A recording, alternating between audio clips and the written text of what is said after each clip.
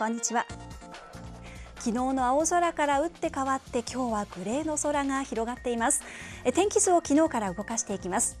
昨日春の日差しを運んでくれた高気圧は東へと移り高気圧の後ろ側から今日は湿った空気が流れ込んでいます。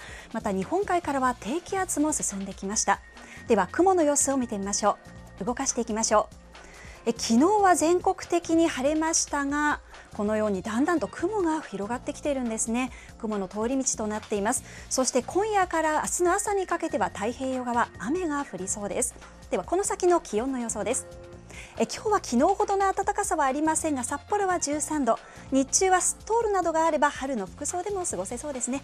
ただ明日になりますと冷たい北風が吹きます。気温は急降下。門別は0度止まりで雪が降るでしょう。土日はまた気温が上がる予想で月曜日は暖かい南風が吹くんですね。札幌と門別は15度以上まで上がります。3月とは思えない暖かさになりそうです。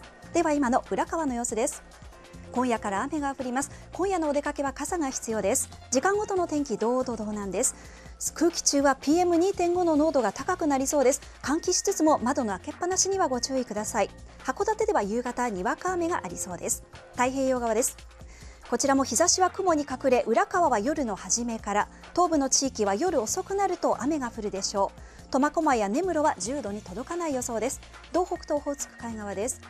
どんより曇り空で気温は昨日より低くなります。網走は昨日より5度低い8度止まり。夕方からは北風に変わりさらに冷え込みそうです。変わって今の札幌です。こちらもすっきりしませんね。週間天気です。